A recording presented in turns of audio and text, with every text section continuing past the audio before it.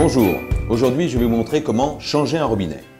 Évidemment, avant de dévisser quoi que ce soit, je coupe l'arrivée générale de l'eau. Et j'ouvre les robinets d'eau chaude et de froide afin de purger les circuits. Avec vos clés à molette, débranchez les tuyaux d'arrivée d'eau, eau chaude et eau froide. Sur les nouveaux flexibles, les joints sont intégrés. Il faut bien penser à enlever les vieux joints s'ils sont collés sur les arrivées.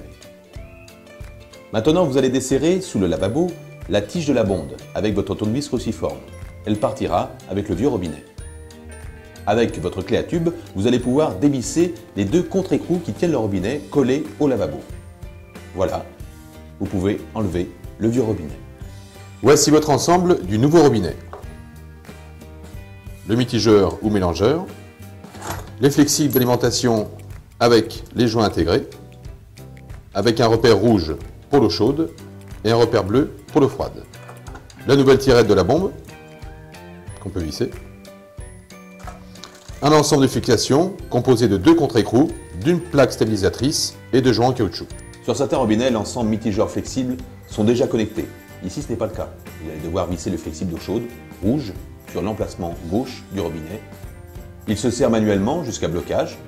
Sur les arrivées d'eau en plomberie, l'eau chaude est toujours à gauche, l'eau froide à droite, quand on se tient en face de l'installation.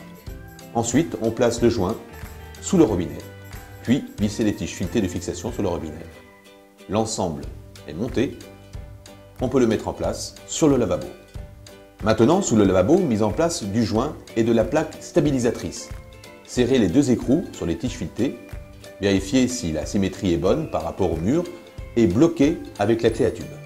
Vous pouvez maintenant revisser les deux raccords d'eau. Évidemment, si les flexibles n'en sont pas équipés, ne pas oublier d'insérer les joints dans chaque raccord.